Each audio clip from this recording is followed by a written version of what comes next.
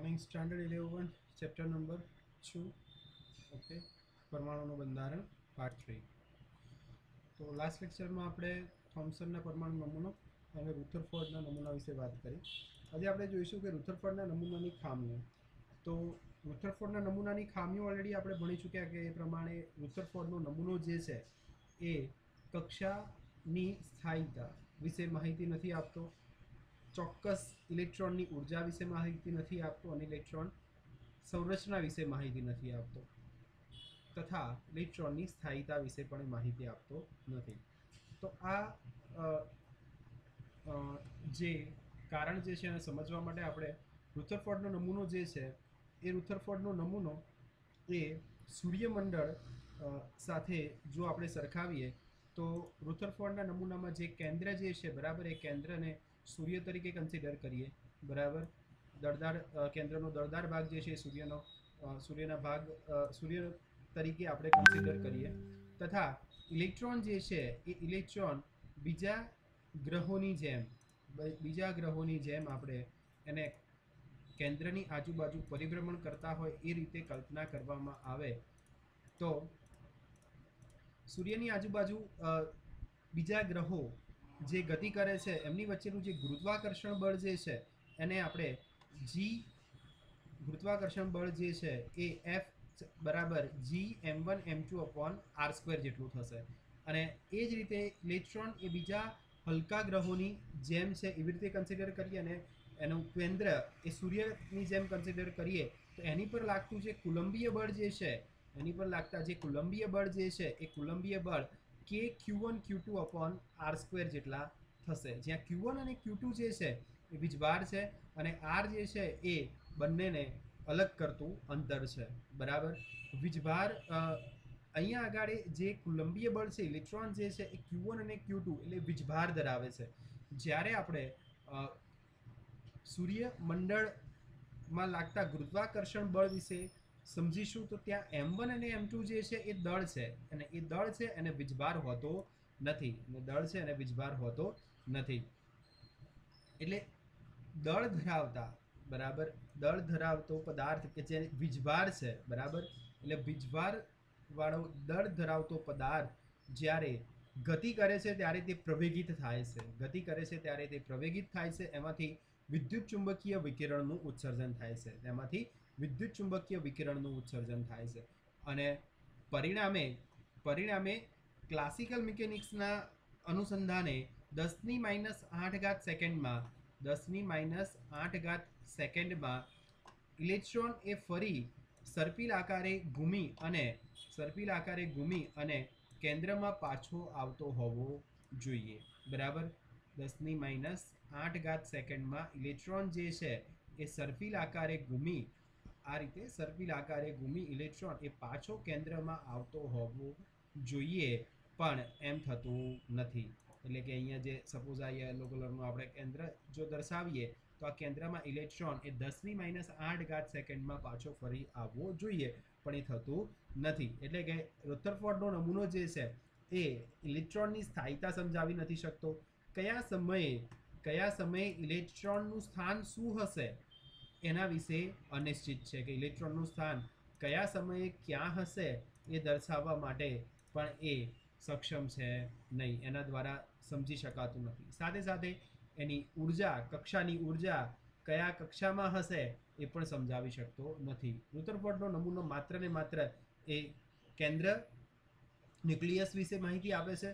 સાથે સાથે એ ઇલેક્ટ્રોન એ ન્યુક્લિયસની આજુબાજુ, એટલે પરમાણુ કેન્દ્રની આજુબાજુ વર્તુળાકાર માર્ગે ગતિ કરે છે.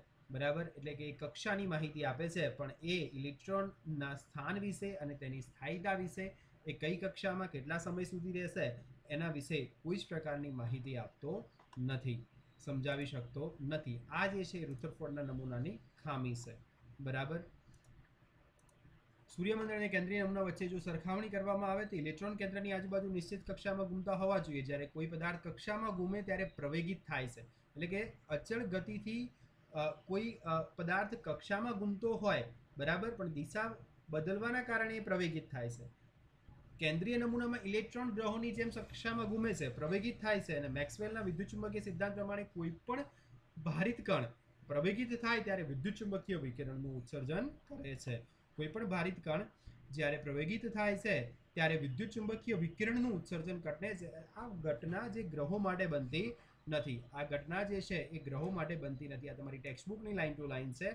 ગ્રહો માટે બનતી નથી આ ઘટના અને કારણ કે તેઓ ભારવિહીન નહીં, વીજભારવિહીન હોય છે. આ એક આ જે છે, એ ભૂલ છે ટેક્સ્ટબુકમાં કે તેઓ ભારવિહીન હોય છે એમ નહીં, તેઓ વીજભારવિહીન હોય છે. આગળ વીજ આવશે.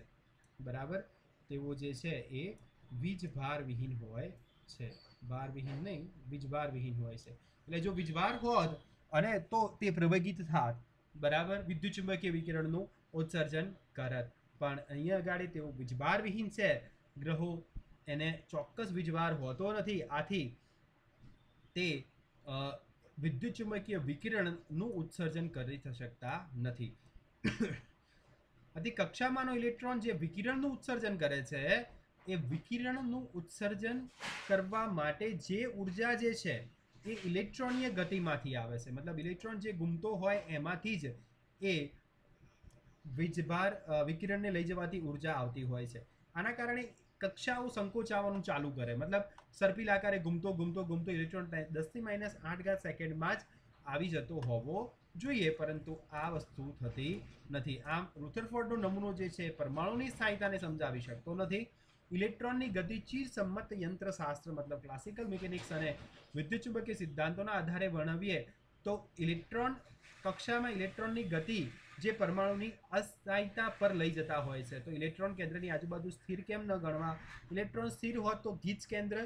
જો ઇલેક્ટ્રોન સ્થિર હોત તો કેન્દ્ર ગીચ અને નજીક ખેંચાય અને તે ફંક્શનનું લઘુરૂપ દર્શાવી શકત. મતલબ કે રુથરફોર્ડનો નમૂનો એ પરમાણુમાં રહેલા ઇલેક્ટ્રોનની ગતિ, એની ઊર્જા, એની સ્થાયીતા, એના સ્થાન વિશે માહિતી આપતો નથી. આ એના ખામીઓ છે. હવે જોઈએ, પરમાણ્વીય ક્રમાંક અને દળ ક્રમાંક. જે ઓલરેડી લોઅર સ્ટાન્ડર્ડમાં આપણે ભણી ચૂક્યા છીએ કે પરમાણ્વીય ક્રમાંક અને દળ ક્રમાંક કેવી રીતે ગણીશું? તો પરમાણુ કેન્દ્રમાં રહેલા પ્રોટોનની સંખ્યાને પરમાણ્વીય ક્રમાંક રહે છે. અને જો સ્થાયી અવસ્થામાં રહેલા ઇલેક્ટ્રોનની સંખ્યાને પણ પરમાણુ ક્રમાંક કહેવામાં આવે છે પણ કોઈ પણ ચાહે ધનાયન હોય કે ઋણાયન હોય, એમાં પ્રોટોનની સંખ્યા જે છે, એ કેવી રહેશે? સમાન રહે છે? ઇલેક્ટ્રોનની સંખ્યા બદલાતી હોય છે. એટલે કે પરમાણુના કેન્દ્રમાં રહેલા પ્રોટોનની સંખ્યા અને પરમાણુનો પરમાણુ ક્રમાંક કહેવામાં આવે છે, જેને ઝેડ વડે દર્શાવાય છે. અને તટસ્થ પરમાણુ ધરાવતો હોય, તો એની ઇલેક્ટ્રોનની સંખ્યાને પરમાણુય ક્રમાંક કહે છે. પરમાણુ ક્રમાંક ઝેડ બરાબર પરમાણુમાં કેન્દ્રમાં રહેલા પ્રોટોનની સંખ્યા બરાબર તટસ્થ પરમાણુમાં રહેલા ઇલેક્ટ્રોનની સંખ્યા. પરમાણુ ભારાંક એટલે કે પ્રોટોન વત્તા ન્યુટ્રોનની સંખ્યા અને એને ઝેડ વડે દર્શાવાય છે. બરાબર? પરમાણુ ભારાંક દળ દળ ક્રમાંક એ વડે દર્શાવાય છે. પ્રોટોનની સંખ્યા પી અને ન્યુટ્રોનની સંખ્યા એન અને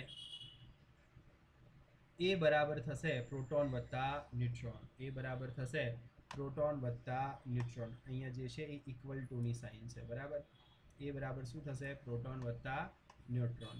બરાબર? એનાથી તમે પ્રમાણિત દળાંક સર. જો ધારો કે કોઈ તત્વ એક્સ હોય, તો આ એક્સ એ ઝેડ એ જે છે એ દર્શાવે છે પ્રમાણીય ક્રમાંક સોરી દળાંક, અને ઝેડ દર્શાવે છે પરમાણ્વીય ક્રમાંક, એટલે કે પ્રોટોનની સંખ્યા. બરાબર? જો આપણે દર્શાવીએ તો એક્સ ઓકે અહીંયા એ જે છે એ જે છે એ પરમાણુય ક્રમાંક હોય બરાબર સોરી પરમાણુય દળાંક હોય અને ઝેડ જે છે એ દર્શાવશે પરમાણુય ક્રમાંક તો અહીંયા આગળ થર્ટી ફાઈવ બીઆર એટી મતલબ થર્ટી ફાઈવ જે છે એનો પ- પરમાણુ ક્રમાંક છે ને એટી એનો પરમાણુય દળાંક છે. તો પ્રોટોન, ન્યુટ્રોન, ઇલેક્ટ્રોનની સંખ્યા શોધો. તો સ્પીસીસ તટસ્થ હોવાથી ઝેડ બરાબર થર્ટી ફાઈવ એ બરાબર એટી એન બરાબર શું થશે? એ માઇનસ પી એટલે ન્યુટ્રોન ફોર્ટી ફાઈવ ઓકે અને અહીંયાથી ખબર પડી જાય કે એનો પરમાણુ ક્રમાંક કેટલો છે અને દળાંક કેટલો છે. એક સ્પીસીસમાં ઇલેક્ટ્રોન પ્રોટોન અને ન્યુટ્રોનની સંખ્યા અનુક્રમે અઢાર, સોળ સોળ છે, તો સંજ્ઞા દર્શાવો. પરમાણુ ક્રમાંક અથવા પ્રોટોનની સંખ્યા સોળ છે, તો તત્વ સલ્ફર છે સલ્ફરનો પરમાણુ ક્રમાંક સોળ છે. એ બરાબર પી પ્લસ એન ઓકે તો સોળ પ્લસ સોળ એટલે એ પરમાણુ દળાંક કેટલો આવશે? બત્રીસ. અહીંયા આગળ તટસ્થ નથી, કારણ કે પ્રોટોન ઇલેક્ટ્રોનની સંખ્યા જુદી જુદી છે. પ્રોટોન અને ઇલેક્ટ્રોનની સંખ્યા જુદી જુદી છે. એટલે એ તટસ્થ છે નહીં. પ્રોટોન અને ઇલેક્ટ્રોનની સંખ્યા જુદી જુદી હોવાથી એ તટસ્થ નથી. એટલે તત્વ બે ઇલેક્ટ્રોન મેળવી અને ઋણ આયન બનેલ છે. એટલે અઢાર માઇનસ સોળ બરાબર બે. એટલે કે સ્પીસીસની સંખ્યા કેટલી થશે? સોળ બત્રીસ માઇનસ ટુ. ઓકે? સોળ બત્રીસ માઇનસ ટુ. પરમાણુય દળાંક, પરમાણુય ક્રમાંક બરાબર છે એસ માઇનસ ટુ. ઓકે? કારણ કે પ્રોટોન અને ન્યુટ્રોનની સંખ્યા કેટલી છે? અઢાર વત્તા સોળ. અઢાર વત્તા સોળ એટલે કેટલી થાય? ચોત્રીસ થાય. વાસ્તવમાં કેટલું આવે છે? બત્રીસ આવે છે. મતલબ એ બે ઇલેક્ટ્રોન વધારાના મેળવેલા છે અને બે ઇલેક્ટ્રોન વધારાના મેળવેલા છે. એટલે કે વીજભાર જે છે, અઢાર માઇનસ સોળ એટલે બે. એટલે બે ઇલેક્ટ્રોન વધારે મેળવેલા છે એટલે કે એસ માઇનસ ટુ થશે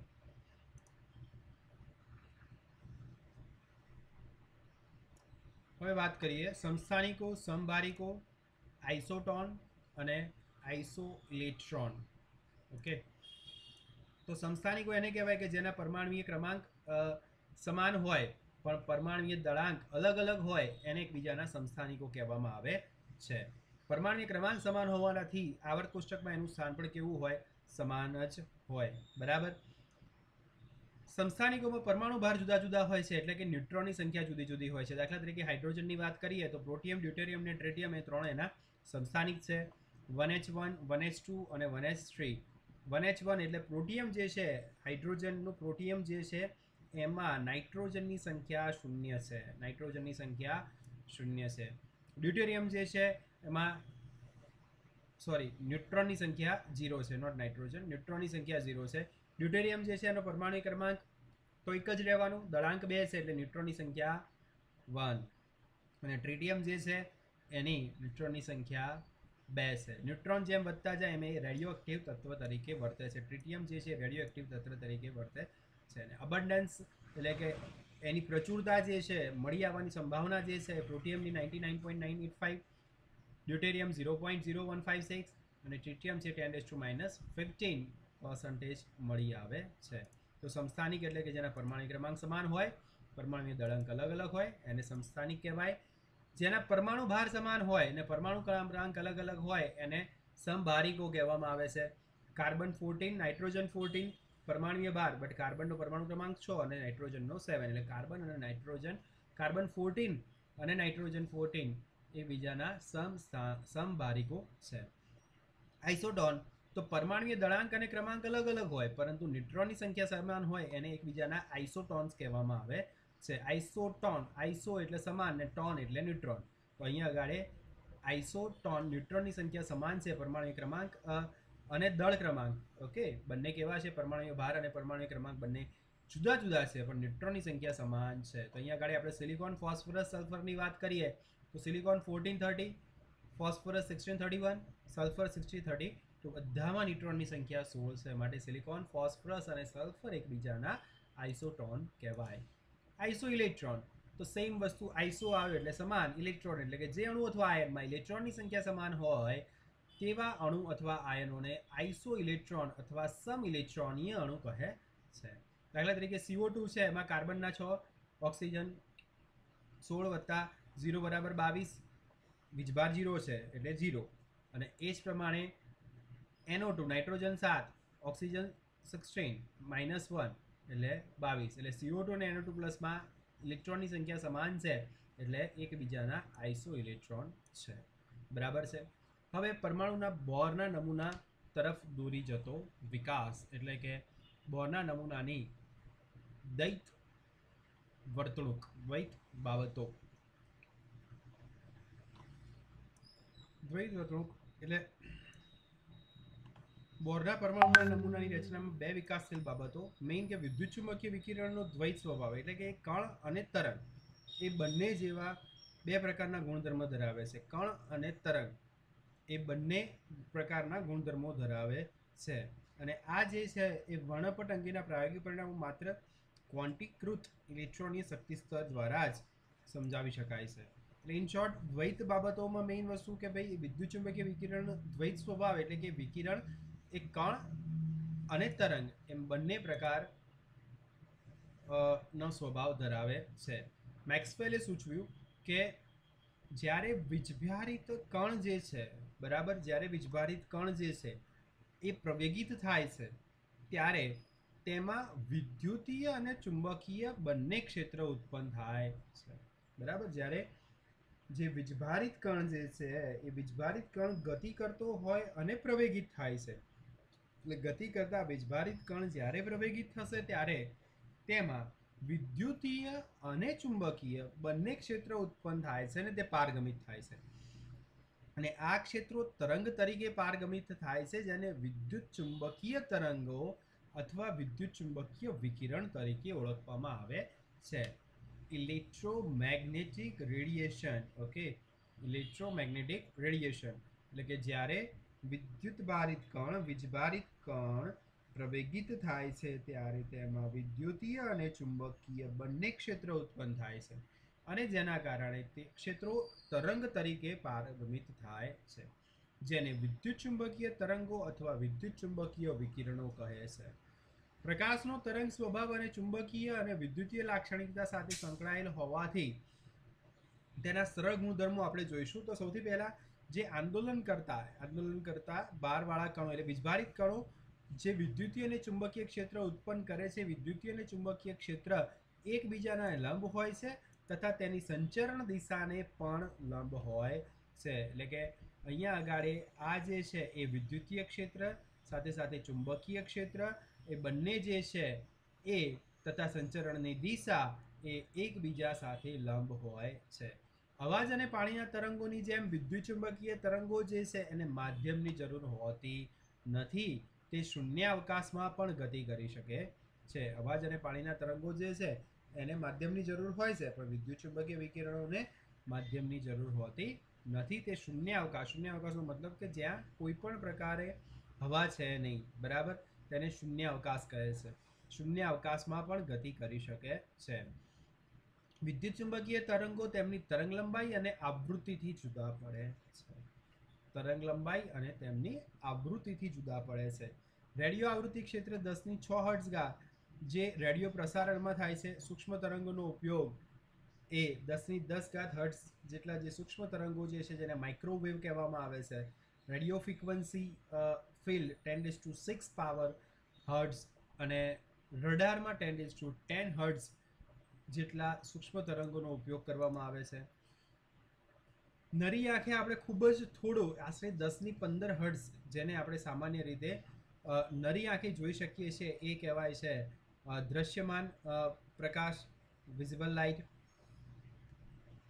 આ વિકિરણોની લાક્ષણિકતા તેની આવૃત્તિ અને તરંગ લંબાઈ દ્વારા નક્કી થાય છે. આવૃત્તિનો મતલબ એવો થાય ફ્રિકવન્સી ફ્રિકવન્સી એટલે પર્ટિક્યુલર કોઈ એક જગ્યાએથી કેટલી વાર કોઈ વસ્તુ પસાર થાય છે. એટલે કે અહીંયા ગાળે આપણે યુનિટ યુનિટ એકમ સેકન્ડમાં બિંદુમાંથી પસાર થતા આવૃત્તિ એટલે કે એક સેકન્ડમાં આપેલ બિંદુમાંથી પસાર થતા તરંગોની સંખ્યા એને તરંગની આવૃત્તિ કહે છે. જેનો એકમ જે છે એ પર સેકન્ડ સેકન્ડ ઇન્વર્સ અથવા હર્ટ્ઝ તરીકે ઓળખાય છે.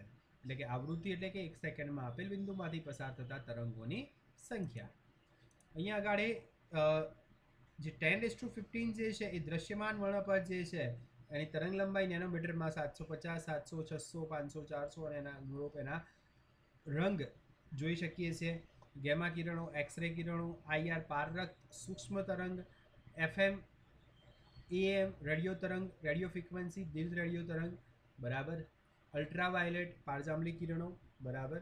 Ten raise to sixteen ten raise to fifteen જે આવશે, એ દ્રશ્યમાન વર્ણપટ છે.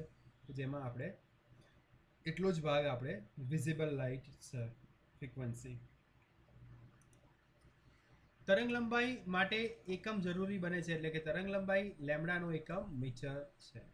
વિદ્યુત ચુંબકીય વિકિરણો શૂન્યાવકાશમાં તરંગ લંબાઈ કે આવૃત્તિને ધ્યાનમાં લીધા વગર સરખી ગતિએ મુસાફરી કરે છે, જેનું મૂલ્ય ત્રણ ગુણ્યા દસની આઠ ઘાત મીટર પર સેકન્ડ છે. વિદ્યુત ચુંબકીય વિકિરણો શૂન્યાવકાશમાં તરંગ લંબાઈ કે આવૃત્તિને જોતા નથી. બરાબર? એટલે શૂન્ય અવકાશમાં એનું મૂલ્ય ત્રણની, ત્રણ ગુણ્યા દસની આઠ છે, જેને પ્રકાશની ગતિ તરીકે ઓળખવામાં આવે છે. આવૃત્તિની તરંગ લંબાઈ લેમડા અને પ્રકાશની ગતિ સી ને નીચે પ્રમાણે સી બરાબર ન્યૂ લેમડા બરાબર વડે દર્શાવી શકાય છે. તરંગ સંખ્યા કોને કહેવાય? તો એકમ લંબાઈમાં રહેલા તરંગની સંખ્યા અથવા તરંગ લંબાઈનો વ્યસ્ત જેને તરંગ સંખ્યા તરીકે ઓળખવામાં આવે છે.